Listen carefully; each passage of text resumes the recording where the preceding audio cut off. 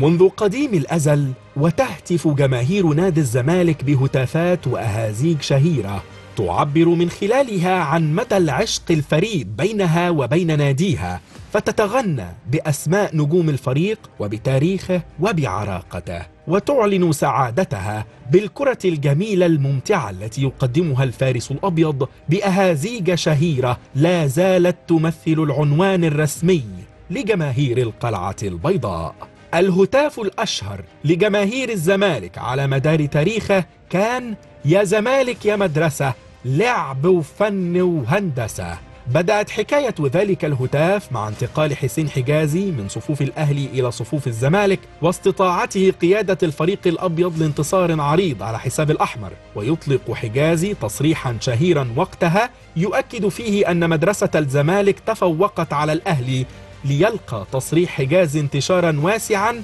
بين أنصار ميت عقبة في ذلك الوقت. في الوقت نفسه أطلقت جماهير الزمالك لقب فريق اللعب على الرباعي عبد نصحي وحمادة إمام وعلي شرف وعلاء الحامولي. كونه كان الرباعي الموهوب صاحب الفنيات الكبيرة والقادر على إمتاع الجماهير بألعاب مميزة. كما جاء مصطلح فن في هتاف الزمالك لانتماء عدد كبير من الفنانين للقلعة البيضاء وعلى رأسهم محمد رشدي وشكري سرحان وصلاح ذو الفقار. بينما أطلقت جماهير الزمالك مصطلح الهندسة على أداء فريقها دعما وتكريما للمقاول الزملكاوي الكبير علو الجزار والذي وافق على تقسيم حلمي زامورا رئيس النادي الأسبق القيمة المالية لإصلاح وصيانة مدرجات ملعب النادي. ومن هنا جاء شعار وهتاف جماهير القلعة البيضاء الشهير. يا زمالك يا مدرسة لعب وفن